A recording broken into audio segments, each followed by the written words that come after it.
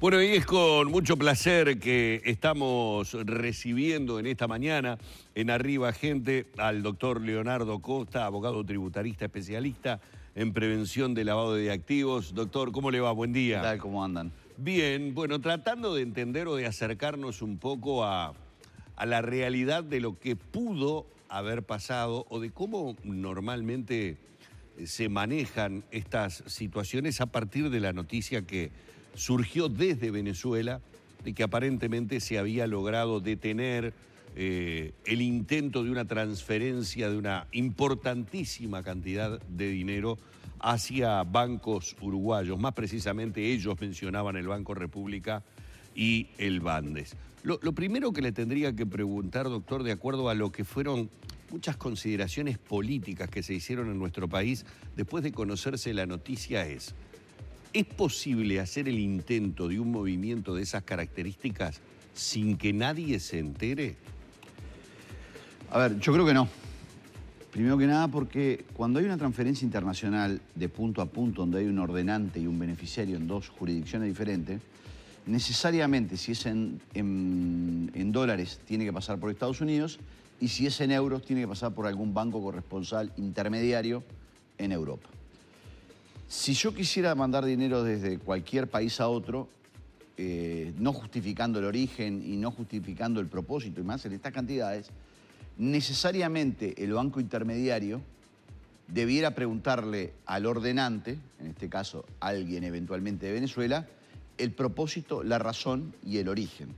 O sea que la primera barrera de contención que hay en, un sistema internacional basado en el SWIFT, que es el, mecanismo básicamente, es eh, necesariamente el banco corresponsal. O sea que para que eso ocurriera, requeriría que el banco corresponsal dejara pasar la primera barrera de contención. Claro. Eh, los bancos internacionales, eh, eh, Estados Unidos con, prácticamente con Venezuela no está trabajando por las restricciones que ha hecho el Tesoro al gobierno venezolano, o sea que lo que nos queda es Europa. Y ahí en Europa habría que ver si el banco corresponsal está en Alemania, en Portugal, en España y o eventualmente en Francia. En este caso decían que estaba efectivamente en Portugal.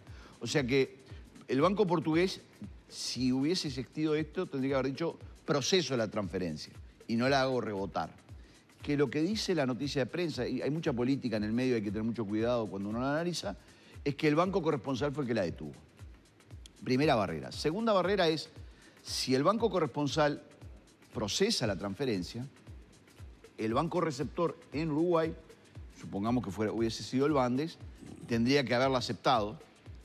Y cuando en una magnitud de 1.200 millones de dólares, para que la gente tenga idea de lo que son 1.200 millones de dólares, fue la ayuda que recibió Uruguay en el 2002.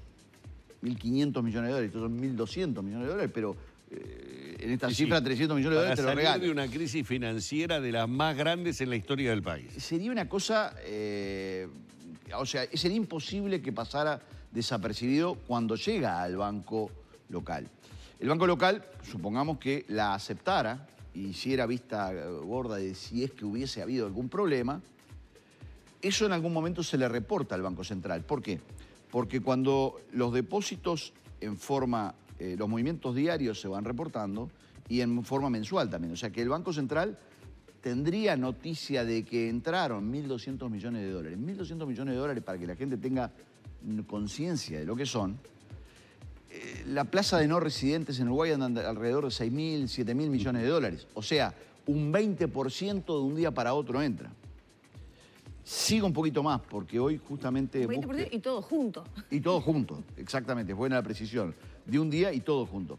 Para que la gente tenga una, noticia, hoy, hoy Búsqueda da una información interesante sobre informaciones que son periódicas de los bancos al Banco Central sobre cuál es la cartera de clientes de este Banco Bandes.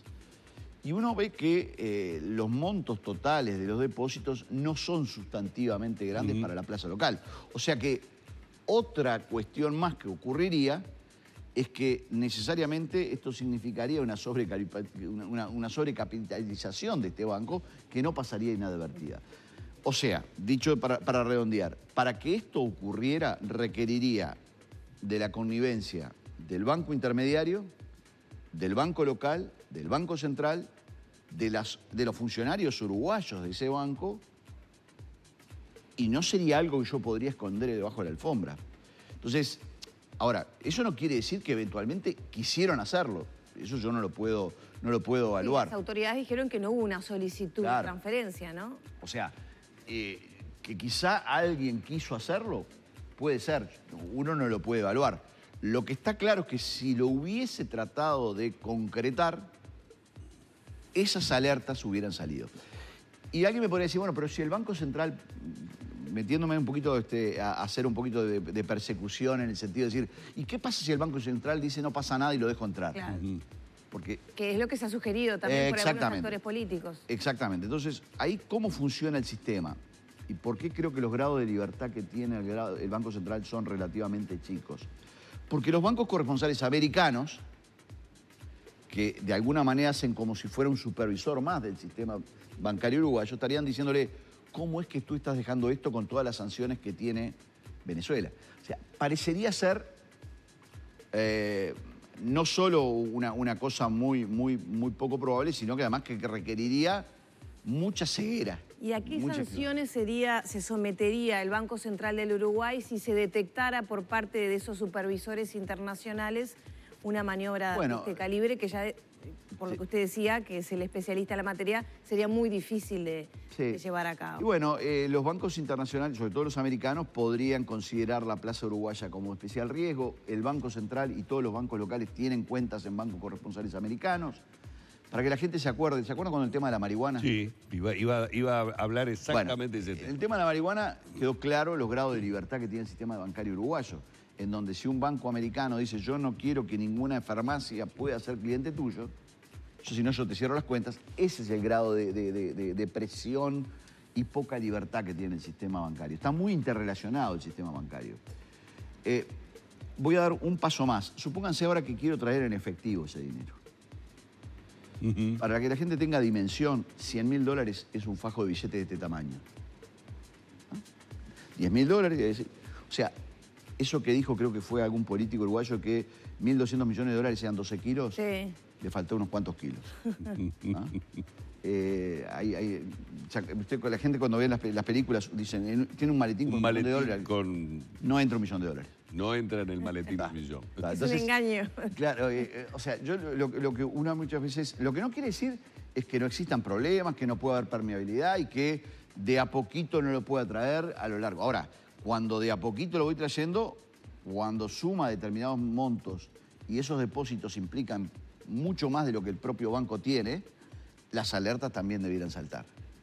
Entonces, eh, requeriría mucha connivencia, mucha ceguera este, y mucha imprudencia del que manda, del que recibe y del intermediario. Doctor, usted se adelantó a lo que iba a ser mi próxima pregunta, pero está bueno desarrollarlo un poco, porque inmediatamente pensé, está bárbaro, 1200 es una barbaridad intentar hacerlo en un solo movimiento.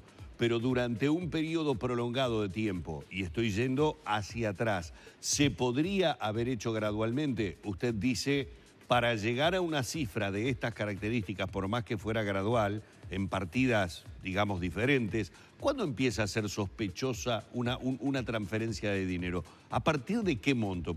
en casa es sospechoso que alguien ande con más de 200 pesos, por ejemplo. No, no, lo que pasa es que, en realidad los bancos este, y el Banco Central hacen supervisión y prevención basada en riesgo. Esto es, eh, si me trae el dinero una persona que de pronto es una empresa mm, con mucho, con mucho potencial, con balances, etcétera, que da origen a eso, de pronto un millón de dólares nada, 10 millones de dólares nada para esa empresa y con un propósito específico. Porque yo tendría que estar transfiriendo, supónganse, 3 millones de dólares para la compra de un inmueble, 3 millones de dólares para la capitalización, para, una, para un pago específico de, una, de un servicio. Porque el sistema funciona de tal manera que es no solo el monto que estoy enviando, el origen de ese monto y el propósito, o mejor dicho, el para qué lo estoy mandando. Eh, o sea, si yo estoy diciendo, bueno, te voy a transferir porque tengo que pagar la factura para, vamos a llamar, compra de petróleo, probablemente ahí la cifra sea muy alta. ¿Me entiendes? O sea, eh, hay que ver el, propósito. Entonces, no, los, niveles de umbrales de, alerta funcionan en función, con, perdón, de la, de la repetición, de que el origen y el propósito. Puede pasar que en un cliente por 500 mil dólares ya le salte la alarma. por 200 mil o por 100 mil. Si yo no tengo ningún origen de nada y me está mandando 100 mil, probablemente decir, ¿y este, esta persona por qué está recibiendo 100 mil dólares? Ajá. Entonces... Bueno, de hecho a uno le sucede cuando la gente de repente en su caja de ahorro sueldo que si la gente a veces lo utiliza para otro tipo de cosas, uno descuenta determinados cheques de, otros trabajos que pudo tener y el banco, periódicamente, el banco que tiene esa caja de ahorro, pide detalles sobre esos Cada cheques vez que uno deposita un cheque tiene que decir que es, pero estoy hablando de cifras no, no, lógico, muy pequeñas. Porque los si sistemas es una de superior a 5 mil dólares también hay que explicar por qué. Eh, funcionan, eh, los sistemas funcionan en base a eh, yo para que este individuo me mueva tanta plata le voy a tener que pedir un montón de documentación de origen de fondo, balances, eh, origen de ingresos, que paga los impuestos, etcétera, etcétera. En base a eso yo me muevo un perfil, un perfil transaccional. Este cliente aguanta transacciones hasta de 10 mil dólares, 100 mil dólares o lo que ustedes quieran. Si se escapa de eso y no hay razonabilidad entre la transacción y el para qué, salta las alarmas. Y cuando yo digo saltan las alarmas, me refiero a que todos los bancos uruguayos tienen sistemas de alarmas monitoreados por, el Banco Central y que si aún, vamos a, ir un poquito más este, la supicacia, yo soy el presidente del banco X y digo, no, no quiero que nadie vea nada. Tengo que saltar tantas barreras delante del banco que probablemente tendría que tener la connivencia de un montón de funcionarios, ya no solo de mis amigos funcionarios, sino también de todos. Mm. Entonces, eso no quiere decir que eventualmente eh, en, transacciones de, 3, 4 millones de dólares no se podría llegar a hacer. Pero en estos montos, y reiteradamente, requeriría muchísima gente que estuviese a favor. Quiero decir, sí, decir una cosa. Probablemente, y, haciendo un poco de especulación, porque no hay otra cosa que especulación en esto, Supónganse que efectivamente alguien en un país dijera, yo quiero transferir 1.200 millones de dólares, a ver cómo lo hacemos. Entonces yo dije, yo no estamos para ver cómo lo podríamos hacer. E, y tratamos de intentar. Cuando queremos hacerlo, y si es que eso ocurrió en este caso, la primera barrera habría funcionado si es que la información es correcta. Es decir, el banco intermediario dijo, no, esto yo no te lo voy a procesar. ¿Qué hubiese pasado si lo hubiese hecho? Bueno, no sabemos, pero probablemente también acá hubiese habido otro problema. O sea, lo que quiero decir con esto es, si existió o no la tentativa, no lo sé y no lo puedo saber. Lo que sí creo que la gente, como información y como dato real, es no es tan fácil hacer estas cosas si no existe un grado de connivencia que trascienda al propio Uruguay. En este caso habría sido, y digo habría porque no sabemos, Portugal. O sea, se precisaría la complicidad de, la banca de otro país al menos. Exactamente. O sea, que, si, fue, si es que fue Portugal, ¿no? Portugal, Alemania, España o, cualquier país que se le ocurra que tenga banca responsable debería decir, sí, sí, yo lo dejo pasar. Ahora, esta pregunta que le hago, doctor, de alguna manera em, puede ser embromada porque involucra el, dar una opinión sobre cómo está operando actualmente el sistema financiero. Pongámonos en lo que por lo menos yo creo que se intentó desde Venezuela con esta noticia. Es decir, la intención política, porque lo dice el diputado en el momento, la intención política es decir, hemos frenado un intento de vaciamiento del dinero de los venezolanos, transitando esa idea de que cuando ciertos regímenes ven cercana su caída, comienzan a vaciar al país, empezando a sacar dineros hacia afuera, asegurándose luego el escapar o el negociar su retirada y tener un futuro promisorio. La pregunta concreta es, ¿es Uruguay un país recomendable, digo entre comillas, para asegurarse sus dineros? Este, ¿O hay otros países en donde es mucho más sencillo, hay menos controles, es mejor tener las cuentas ahí, hacer las transferencias ahí, que complicarse en un país que me parece a mí en este momento está muy controlado en materia financiera? A ver, el tamaño del mercado uruguayo, del mercado financiero uruguayo, hace que querer esconder ese monto de dinero tan impresionante no parece ser el mejor lugar. El grado de dependencia que tiene el sistema bancario uruguayo con eh, la corresponsabilidad internacional también indica que no parece ser el lugar. Eh, yo no, no, voy a decirle cuál es el consejo, pero lo lógico sería ir a países con dimensiones más grandes con bancos con mayor potencial y con un grado de, porque, a ver, voy a, voy a, voy a, voy a, voy a ir a la suspicacia de la noticia también. No, Uruguay es un país amigo de Venezuela y entonces quizás ahí se podría esconder. Vamos a dar por, por buena esa frase que, yo no la doy, pero vamos a darla por, en el análisis vamos a darla por buena. Eh, requeriría además que Uruguay tuviera un peso en la banca internacional para decir, yo lo voy a permitir. Entonces, no parece ser el lugar. Cuando uno mira dónde está la... quisiera, digamos. Digo quisiera. Voy a dar un ejemplo. Eh, cuando la, gran fortuna de Pinochet, eh, que había sacado de, Chile, se descubrió, no estaba en, ningún lugar ajeno a, los países eh, marginales. Estaba en la banca Riggs en Washington. ¿Qué quiero decir con esto? Hoy los sistemas han mejorado y eso no ocurriría. Claro. ¿ah? Pero los grandes escándalos, no o sea, de esas sumas enormes, están en bancos internacionales. Y no porque sean peores o mejores personas, es porque, eh, reitero, es más fácil esconder este, un, objeto chiquito en un gran espacio que un objeto chico en un espacio chico que parece ser, ser más grande. Ese es el tema. Ese es el tema. El tema de, dimensión. Ahora, estamos siempre hablando de transferencias bancarias, ¿no? De, cierta, digamos, legalidad o, convencionalidad de las rutas de esos dineros. Pero hemos sabido y se están investigando otro tipo de rutas de ingreso de dinero al Uruguay. Podemos hablar de Balcedo, la ruta del dinero acá, entre otros. En, en ese caso que usted algo mencionaba, y ya no estaríamos hablando del caso puntual de Venezuela, al menos esta denuncia hecha por la oposición. Pero podría haber habido ingreso de dinero, por ejemplo, de Venezuela en, montos más pequeños y ya con el dinero, lo que se llama dinero vivo, y decir que, evitara, o sea, porque lavado de dinero existe en todo el mundo. Uruguay ha intentado blindarse, pero no es este, exento. Eh, ¿Podría haber ingresado dinero eh, en otra ruta, en otro camino, por otro lugarcito? Y sí, podría. Este, no sé si en esos volúmenes, pero podría, sí, porque de hecho una de las de, las eh, de los últimos tipologías de los últimos dos años y que el Uruguay está tratando de trabajar es el, tránsito físico de dinero a través de las fronteras es un tema. Y ahí están los controles aduaneros en frontera, tanto sea fluvial como aérea, y cuando uno ve que los casos pasaron, yo no puedo decir, no, no, esto no ocurriría de nuevo.